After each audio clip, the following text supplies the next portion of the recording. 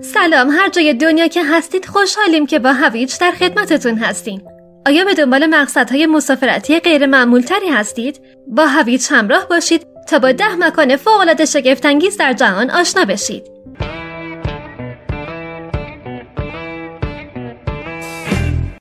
یک آنتلوپ کنیون آریزونا آمریکا در صحرای نواهو در آریزونا آنتلوپ کنیون ژرف دره باریکه که از شکافهای تشکیل شده و نمایش فوق‌العاده‌ای از نور ایجاد کرده. هر عکاس آماتور یا کاربر علاقمند اینستاگرام حتما باید از این منطقه دیدن کنه. دو. سالار دو ایونی.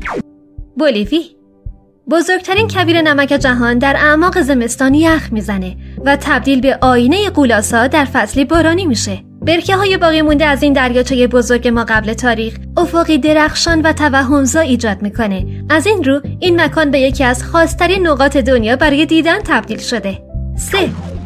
دریاچه بایکال روسیه این دریاچه حیرت آور در جنوب سیبری واقع شده و یکی از بزرگترین منابع آب شیرین در جهانه. آب موجود در این منطقه در زمستان تبدیل به صفحه های فیروزه‌ای رنگ از یخ میشه که بیشتر به دژ تنهایی سوپرمن شباهت داره. دما در این منطقه از ماه دسامبر تا فوریه به منفی 19 درجه سانتیگراد می‌رسه. پس فراموش نکنید که لباسای گرم خودتون رو ببرید. چهار آبشار کوانگسی لاوس شهر لوانگ پرابانگ در کشور لاوس همین حالا هم مقصد پرطرفداری برای کوله پشتی گرداست و به طور وسوسه انگیزی نزدیک به آبشار کوانگسی قرار داره. آبشار سه زیبایی با آبهای زلال آبی که به سختی می‌توان از شیرجه زدن در اون مقاومت کرد. 5. پارک ملی تورس دلپاینه پاتاگونیا شیلی اگر زمانی به کوههای آن سفر کردید از یکی از زیباترین پارکهای ملی آمریکای جنوبی هم حتما بازدید کنید لباسای مخصوص کوهنوردی به تن کنید و به دل کوههایی پر از برف و یخچالهای طبیعی با شکوه برید. 6. چشمه گرند پریزماتیک وایومینگ آمریکا این بار به سراغ آمریکای شمالی میریم.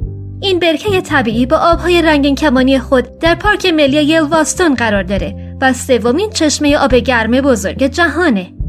هفت هواکاچینا پرو این واحه صحرایی شگفتانگیز در سال 1930 نزدیک به چاه آبی ساخته شد. در افسانه ها اومده که یک پری دریایی هم در این دریاچه افسانه ای زندگی می‌کنه. پس خوب چشاتون رو باز کنید. پرو همچنین محل یکی از هفت شگفتی جهان به نام ماچو پیچو و مقصد گردشگری فوق‌العاده ایه.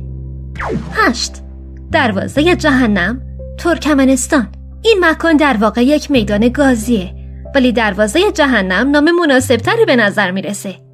این مخزن سوزان گدازه در صحرای قرقوم ترکمنستان دقیقا شبیه به دروازه‌ای برای نگاه کردن به اعماق زمینه. قرمز، داغ و پربخار.